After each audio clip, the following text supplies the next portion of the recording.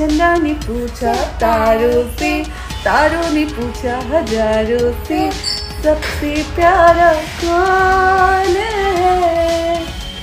पापा, मेरे पापा। पार्वती बोली, शंकर से सुनिए भोलेनाथ जी। रहना है हर एक जन्म, मुझे तुम्हारे साथ जी।